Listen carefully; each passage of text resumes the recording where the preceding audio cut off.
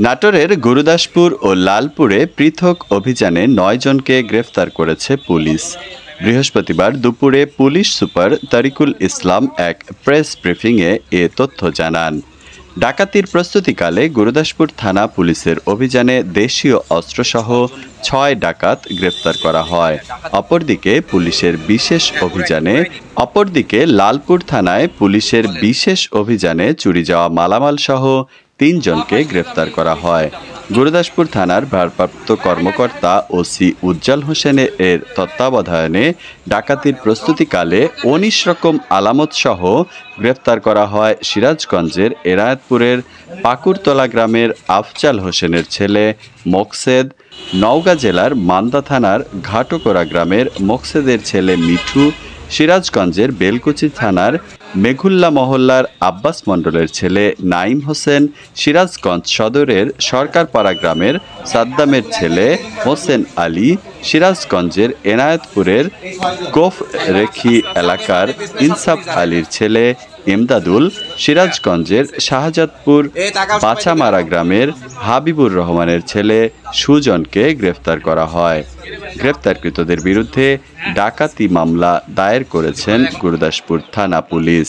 অপরদিকে লালপুর থানার ভারপ্রাপ্ত কর্মকর্তা নাসিম আহমেদ এর তত্ত্বাবধানে বিশেষ অভিযান পরিচালনা করে গৌরীপুরে বসতবাড়িতে চুরির ঘটনায় মামলার মূল রহস্য উদ্ঘাটন করে তিন আসামি লালপুরের মোহরকয়া গ্রামের আলতাফ হোসেনের জামাতা আলমগীর হোসেন, রাজশাহীর চারঘাট থানার হাবিবপুর গ্রামের লুৎফর রহমানের ছেলে রানা ও পাবনা জেলার ঈশ্বরদী থানার মাজতিয়া গোপালপুর গ্রামের সিরাজুল ইসলামের ছেলে তৈয়বকে গ্রেফতার করা হয়।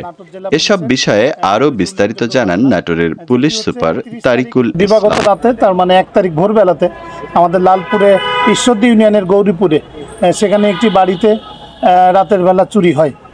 সেই চুরি হওয়ার পরে ভুক্তভোগী যিনি সানাউল্লাহ সত্তর বছর বয়স উনি সিনিয়র সিটিজেন। তো উনি থানায় এসে একটি অভিযোগ দায়ের করেন তার পক্ষ থেকে। তখন আমরা এটি নিয়ে কাজ শুরু করি। যা- যেটা হয় সেটা হচ্ছে যে ওই রাতে অজ্ঞাতনামা চোর বা চোরেরা তারা সেই বাড়িতে যায়। বাড়িতে আলমারি ভাঙে, তার ওয়ার্ড্রপ ভাঙে, ভেঙে সেখান থেকে তারা স্বর্ণালঙ্কার, নগদ টাকা এবং চারটি মোবাইল ফোন তারা নিয়ে যায়। এরপরে আমরা অভিযান পরিচালনা করি বিভিন্ন জায়গাতে। আমরা অভিযান পরিচালনা করে গতকালকে সেখান থেকে আমরা দুইজনকে গ্রেপ্তার করি, যার মধ্যে একজন তার নামে পনেরোটি চুরি, ডাকাতি, অস্ত্র এবং অপহরণের মামলা রয়েছে। শুধু একজনের নামেই তার বাড়ি কুষ্টিয়াতে সে এখন নাটোরেই থাকে, বর্তমান ঠিকানা নাটোর।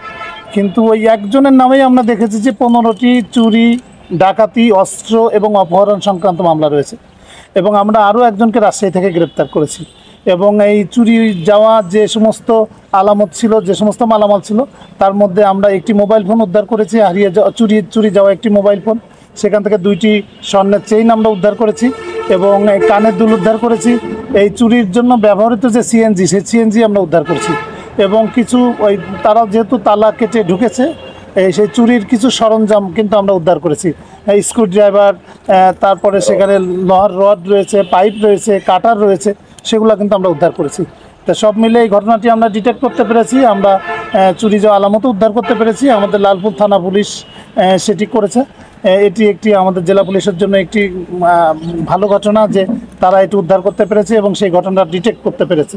এটি ছিল একটি, আরও একটি ঘটনা আমরা আপনাদেরকে বলতে চাই, যেটি হচ্ছে আমাদের হাটিকুমডুল বনপাড়া যে রোড যেটি আমরা রাজশাহী ঢাকা রাস্তা যেটি বলি সেই মহাসড়কে আমাদের কাশিঘাটা টোল প্লাজা আছে আমাদের জেলার মধ্যে।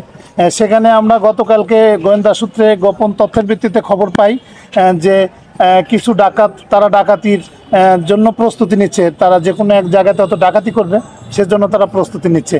তখন কিন্তু সেই গোয়েন্দা তথ্যের ভিত্তিতে আমরা যে খবরটি পেয়েছিলাম গোপন সূত্রে, আমাদের সেখানে অভিযান পরিচালনা করি। অভিযান পরিচালনা করে সেখান থেকে আমরা ছয়জনকে গ্রেপ্তার করি এবং একটি পিক করে তারা যাচ্ছিল। একটি ছোট পিক সেই পিক জব্দ করি এবং এখান থেকে আমরা উনিশটি আলামত জব্দ করি। প্রত্যেকটি সরঞ্জাম কিন্তু ডাকাতির সরঞ্জাম যেগুলো আমরা সেখান থেকে পেয়েছি।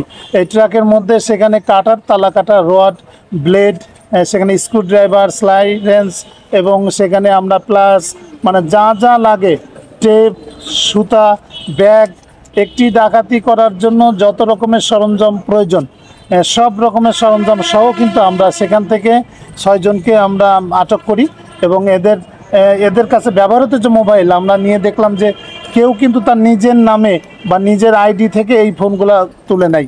এই প্রত্যেকটি ফোন তাদের কাছে যেগুলো আছে, সবগুলো কিন্তু অন্য মানুষের নামে তোলা। হয়তো কোনোটা মহিলার নামে তোলা, অপরিচিত, কোনোটা পুরুষের নামে, কিন্তু কোনোটি তাদের নিজের নামে নয়। এই মোবাইলগুলো তারা ব্যবহার করে এবং তারা স্বীকারও করেছে যে এরা বিভিন্ন জায়গাতে এর আগে চুরি করেছে, ডাকাতি করেছে। আমাদের কাছে প্রাথমিকভাবে আমরা সেই ছয়জনকে গ্রেপ্তার করেছি। তাদের নামেও মামলা রয়েছে এর আগে এবং আমরা ডাকাতির সাথে জড়িত বা ডাকাতির জন্য প্রয়োজন যে সমস্ত সরঞ্জাম সবই কিন্তু সেই ট্রাকে করে নিয়ে তারা যাচ্ছিল। তা আমরা হয়তো আরও একটি ডাকাতির ঘটনা থেকে এই তাদেরকে যথাযথ সময়ে, সঠিক সময়ে আটক করার কারণে হয়তো আরও একটি ডাকাতির ঘটনা থেকে রক্ষা পেল। এবং আমরা মনে করি যে এটিও আমাদের গুরুদাসপুর থানা তারা একটি খুবই একটি ভালো কাজ করেছে খুবই দরকারি একটি কাজ করেছে। কেননা আইন শৃঙ্খলা রক্ষার জন্য যদি আমরা এই যে সমস্ত অভিযান আমাদের চলে, প্রতিনিয়ত, সেখানে আমাদের অ্যাচিভমেন্টও কিন্তু থাকে। তা আমরা এই দুটি ঘটনা আপনাদের সামনে তুলে ধরলাম। একটি ঘটনায় ছয়জন গ্রেপ্তার আছে আর একটি ঘটনায় দুইজন গ্রেপ্তার আছে। এবং দুটি ঘটনাই আমাদের যে সমস্ত আলামত একটি চুরি যাওয়ার যে সমস্ত আলামত সেগুলো উদ্ধার রয়েছে এবং আরেকটিতে ডাকাতির প্রস্তুতি যারা নিচ্ছিলেন সেই ডাকাতির জন্য যে সমস্ত সরঞ্জাম প্রয়োজন সেই সমস্ত সরঞ্জাম সহ একটি ট্রাক কিন্তু আমরা আটক করতে বা জব্দ করতে সমর্থ হয়েছি। আপনাদের সবাইকে ধন্যবাদ। সাম্প্রতিক গুরুদাসপুরে কিছু মিটার চুরি হয়েছে। এগুলো কি সেই চক্রের কেউ বলে মনে হচ্ছে? ওই জন্য রেডি করে নিক। সম্প্রতি যেটি বললেন যে গুরুদাসপুরে মিটার চুরি হয়েছে সেটি আমরা তাদেরকে গ্রেপ্তারের পরে দেখেছি যে তাদের কাছে যে সমস্ত সরঞ্জাম সেটি দিয়ে তারা মিটার খুলতে পারতো বা তারা ট্রান্সফরমার খুলতে পারতো যে কোনো কিছু করতে পারতো। তা এটা হয়তো হতে পারে যে তারা হয়তো মিটার চুরি বা ট্রান্সফরমার চুরি বা অন্য কোনো চুরি বা ডাকাতির জন্য এলাকাতে এসেছিল। তা তাদের সাথে আমরা জিজ্ঞাসাবাদ করব জিজ্ঞাসাবাদে আমরা আরও ব্যাপক তথ্য আমরা হয়তো তাদের সাথে জিজ্ঞাসাবাদে আমরা পাবো। ধন্যবাদ। মিটার চুরি করে ওরা বিকাশ নাম্বার দিচ্ছে ওরা টেলিফোন নাম্বার দিচ্ছে যে ওই যোগাযোগ করে তাদের মিটার সেখান থেকে কিনে নিতে পারবে আবার। হ্যাঁ যে এইটা কি আপনারা কোনো ডিটেক্ট করতে পারেননি?